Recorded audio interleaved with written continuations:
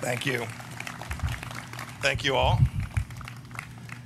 Thank you, Governor, for that very, very generous introduction. It is true, when you walk in that gym and you say the name Pompeo, there is a whisper. I had a brother, Mark, who was really good, uh, a really good basketball player.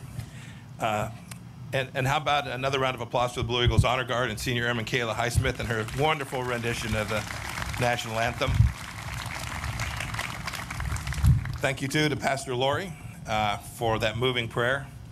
And I want to thank uh, Hugh Hewitt and the Nixon Foundation uh, for your invitation to speak at this important American institution. It's great to be uh, sung to by uh, an Air Force person, introduced by a Marine, and they let the Army guy in in front of the Navy guy's house.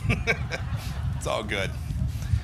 Uh, it's an honor to be here in Yorba Linda, where Nixon's father built the house in which he was born and raised, to all the Nixon Center board and staff who made today possible. It's difficult in these times.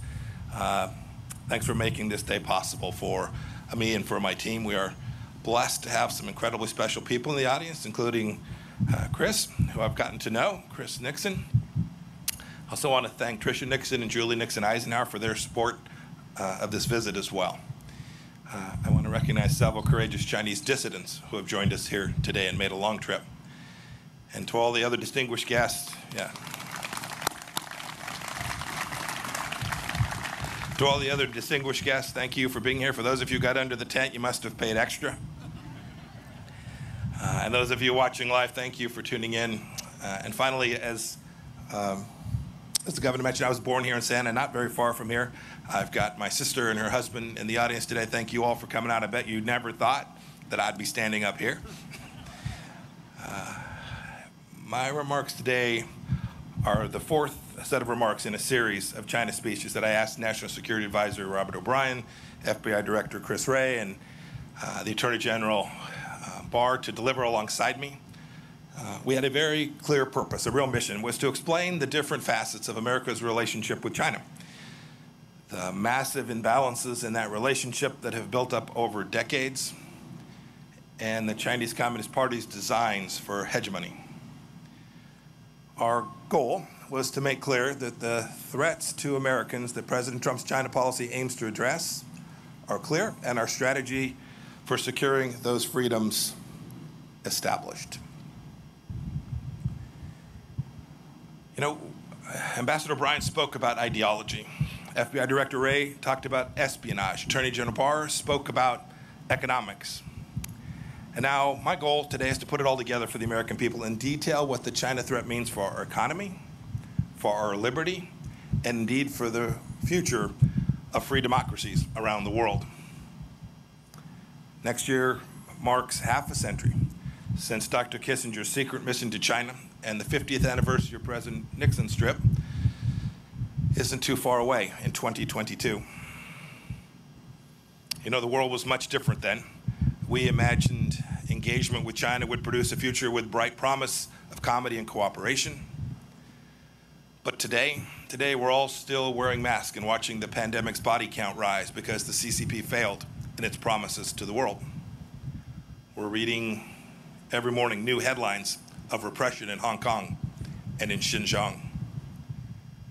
We're seeing staggering statistics of Chinese trade abuses that cost American jobs and strike enormous blows to the economies all across America, including here in Southern California.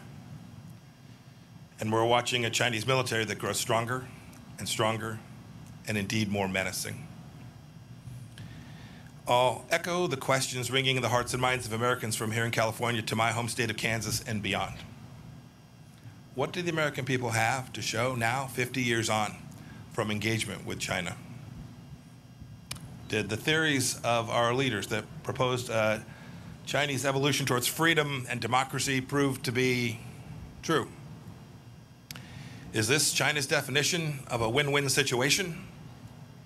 And indeed, centrally, uh, from Secretary of State's perspective, is America safer? Do we have a greater likelihood of peace for ourselves and peace for the generations which will follow us? Look, we, we have to admit a hard truth. We must admit a hard truth that should guide us in the years and decades to come that if we want to have a free 21st century and not the Chinese century of which Xi Jinping dreams, the old paradigm of blind engagement with China simply won't get it done. We must not continue it, and we must not return to it. As President Trump has made very clear we need a strategy that protects the American economy and indeed our, our way of life. The free world must triumph over this new tyranny. Now, before I seem too eager to tear down President Nixon's legacy, I want to be clear that he did what he was believed was best for the American people at the time, and he may well have been right. He was a brilliant student of China, a fierce Cold Warrior, and a tremendous admirer of the Chinese people, just as I think we all are. He deserves enormous credit for realizing that China was too important to be ignored, even when the nation was weakened because of its own self inflicted communist brutality. In 1967, in a very famous foreign affairs article, Nixon explained his future strategy. Here's what he said He said, Taking the long view, we simply cannot afford to leave China forever outside of the family of nations. The world cannot be safe until China changes. Thus, our aim, to the extent we can, we must influence events. We should, our goal should be to induce change. And I think that's the key phrase from the entire article to induce change. So, with that historic trip to Beijing, President Nixon kicked off our engagement strategy. He nobly sought a freer and safer world, and he hoped that the Chinese Communist Party would return that commitment. As time went on, American policymakers increasingly presumed that as China became more prosperous, it would open up, it would become freer at home, and indeed present less of a threat abroad it'd be friendlier. It all seemed, I am sure, so inevitable. But that age of inevitability is over. The kind of engagement we've been pursuing has not brought the kind of change inside of China that President Nixon had hoped to induce. The truth is that our policies and those of other free nations resurrected China's failing economy only to see Beijing bite the international hands that were feeding it. We opened our arms to Chinese citizens only to see the Chinese Communist Party exploit our free and open society. China sent propagandists into our press conferences, our research centers, our high schools, our colleges, and even into our PTA meetings. We marginalized our friends in Taiwan, which later blossomed into a vigorous democracy. We gave the Chinese Communist Party and the regime itself special economic treatment, only to see the CCP insist on silence over its human rights abuses as the price of admission for Western companies entering China. Ambassador Bryan ticked off a few examples just the other day. Marriott, American Airlines, Delta, United all removed references to Taiwan from their corporate websites so as not to anger Beijing. And Hollywood, not too far from here, the epicenter of American creative freedom and self appointed arbiters of social justice, self censors even the most mildly unfavorable reference to China. This corporate acquiescence to the CCP happens all over the world too. And, and how has this corporate fealty worked? Is its flattery rewarded? I'll give you a quote from the speech that General Barr gave, Attorney General Barr. In his speech last week, he said that the ultimate ambition of China's rulers isn't to trade with the United States, it is to raid the United States. China ripped off our prized intellectual property and trade secrets, causing millions of jobs all across America. It sucked supply chains away from America and then added a widget made of slave labor. It made the world's key waterways less safe for international commerce. President Nixon once said he feared he had created a Frankenstein by opening the world to the CCP. And here we are. Now, people of good faith can debate why free nations allowed these bad things to happen for all these years. Perhaps we were naive about China's virulent strain of communism, or triumphalist after our victory in the Cold War, or cravenly capitalist, or hoodwinked by Beijing's talk of a peaceful rise. Whatever the reason, whatever the reason, today China is increasingly authoritarian at home and more aggressive in its hostility to freedom everywhere else. President Trump has said enough. I don't think many people on either side of the aisle dispute the facts that I've laid out today. But even now, some are insisting that we preserve the model of dialogue for dialogue's sake.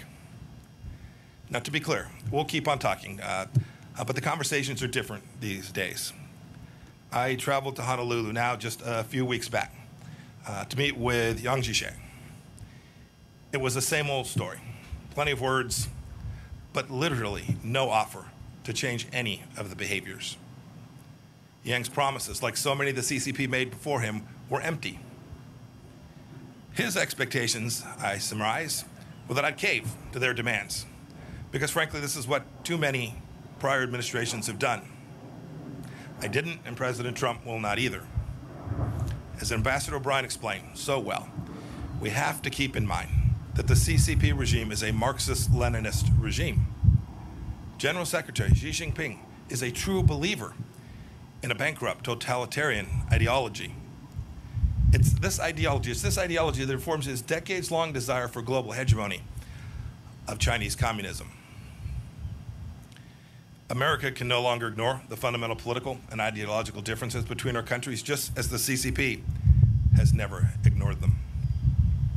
My experience in the House Intelligence Committee, and then as director of the Central Intelligence Agency, and my now two plus years as America's Secretary of State have led me to this central understanding that the only way, the only way to truly change communist China is to act not on the basis of what Chinese leaders say, but how they behave and you can see American policy responding to this conclusion.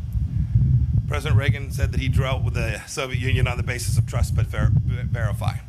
When it comes to the CCP, I say we must distrust and verify. We, we the, we the freedom-loving nations of the world must induce China to change, just as President Nixon wanted. We must induce China to change in more creative and assertive ways because Beijing's actions threaten our people and our prosperity. Let's start by changing how our people and our partners perceive the Chinese Communist Party. We have to tell the truth. We can't treat this incarnation of China as a normal country just like any other. We know that trading with China is not like trading with a normal law abiding nation. Beijing threatens international agreements as treats international suggestions as or agreements as suggestions as conduits for global dominance. But by insisting on fair terms, as our trade representative did when he secured our Phase 1 trade deal, we can force China to reckon with its intellectual property theft and policies that have harmed American workers. We know, too, that doing business with a CCP backed company is not the same as doing business with, say, a Canadian company. They don't answer to independent boards, and many of them are state sponsored and so have no need to pursue profits. A good example is Huawei. We stopped pretending Huawei is an innocent telecommunications company just showing up to make sure you can talk to your friends. We've called it what it is a true national security threat, and we've taken action accordingly. We know, too, that if our companies invest in China, they may wittingly or unwittingly support the Communist Party's gross human rights violations.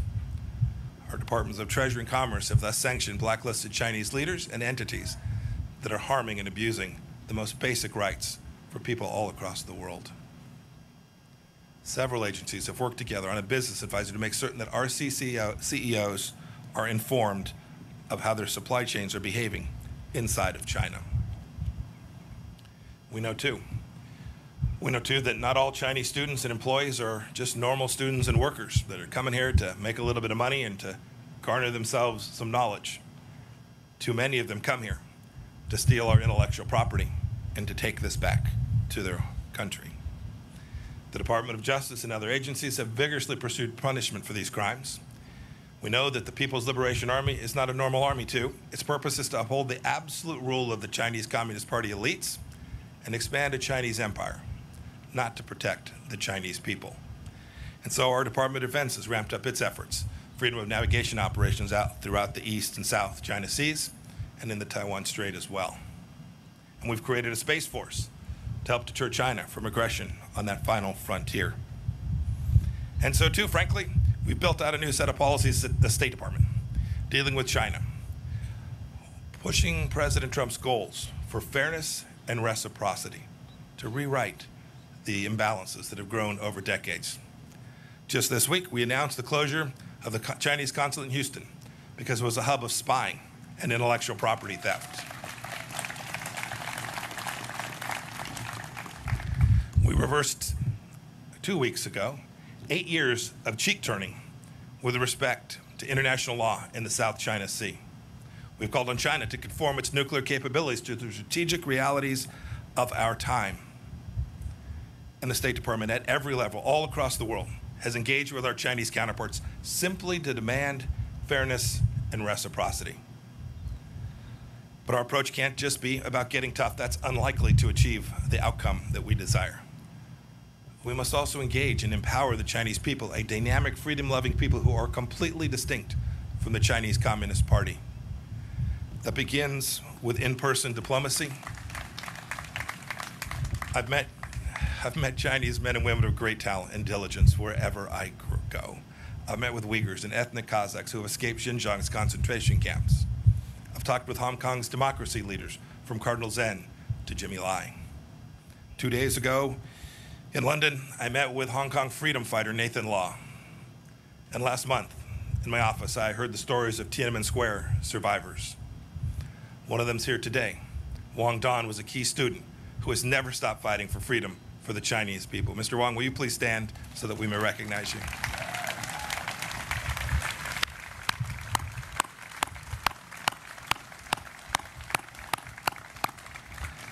Also with us today is the father of the Chinese democracy movement, Wei Jingsheng.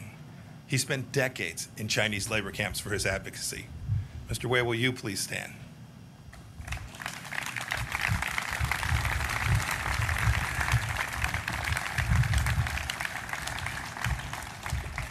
You know, I grew up and served my time in the Army during the Cold War. And if there's one thing I learned, communists almost always lie. The biggest lie that they tell is to think that they speak for 1.4 billion people who are surveilled, oppressed, and scared to speak out. Quite the contrary, the CCP fears the Chinese people's honest opinions more than any foe. And save for losing their own grip on power, they have reason, no reason to. Just think how much better off the world would be, not to mention the people inside of China. If we had been able to hear from the doctors in Wuhan, and they'd been allowed to raise the alarm about the outbreak of a new and novel virus. For too many decades, our leaders have ignored, downplayed the words of brave Chinese dissidents and warned us about the nature of the regime we're facing, and we can't ignore it any longer. They know as well as anyone that we can never go back to the status quo. But changing the CCP's behavior cannot be the mission of the Chinese people, and free nations have to work to defend freedom. It's the furthest thing from easy. But I have faith we can do it. I have faith because we've done it before. We, we know how this goes. I have faith because the CCP is repeating some of the same mistakes that the Soviet Union made alienating potential allies, breaking trust at home and abroad, rejecting property rights and predictable rule of law. I have faith. I have faith because of the awakening I see among other nations that know we can't go back to the past in the same way that we do here in America. I've heard this from Brussels to Sydney to Hanoi. And most of all, I have faith we can defend freedom because of the sweet appeal of freedom itself. Look at, look at the Hong Kongers clamoring to emigrate abroad as the CCP tightens its grip on that proud city. They wave American flags. It's true. There are differences. Unlike the Soviet Union, China is deeply integrated into the global economy. But Beijing is more dependent on us than we are on them.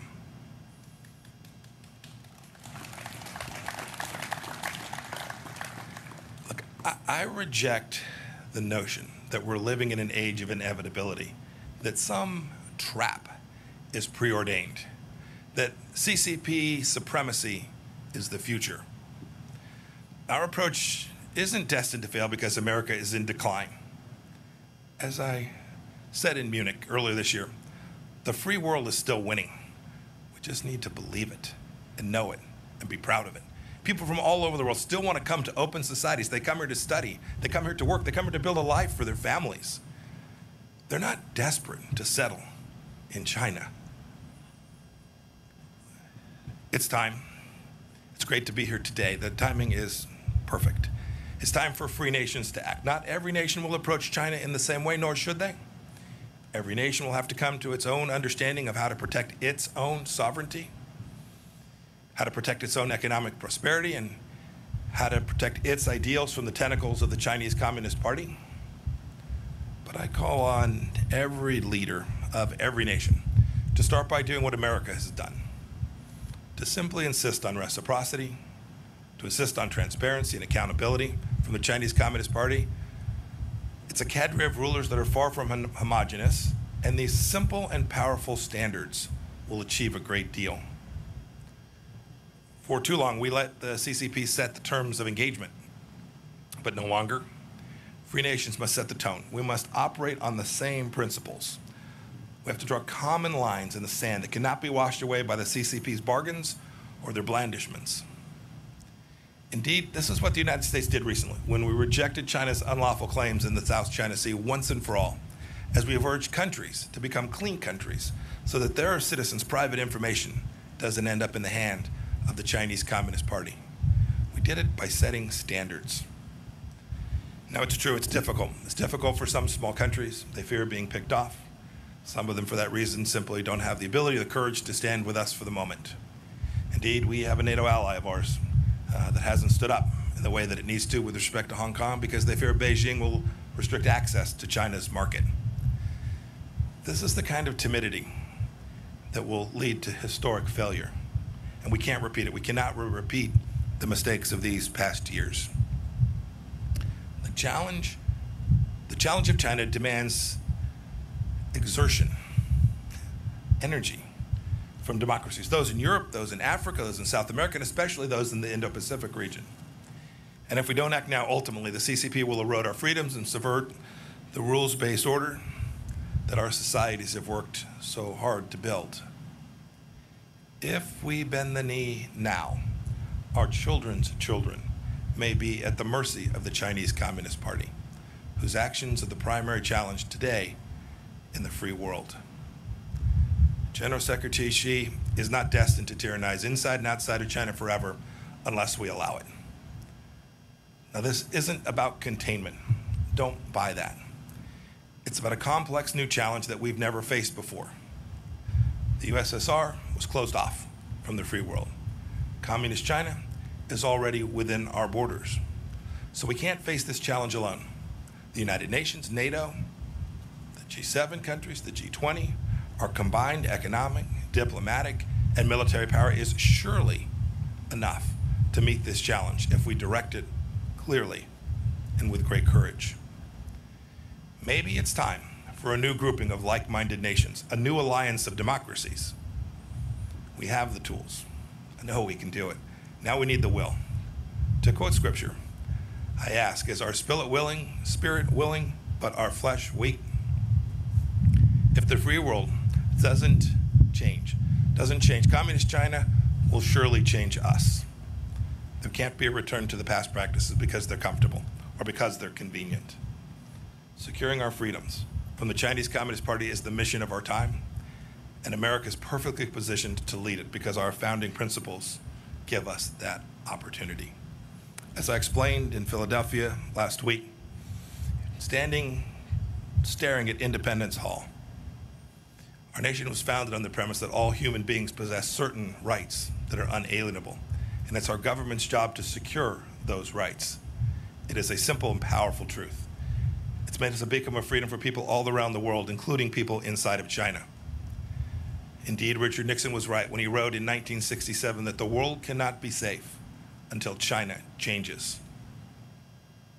Now it's up to us to heed his words. Today, the danger is clear, and today the awakening is happening. Today, the free world must respond. We can never go back to the past.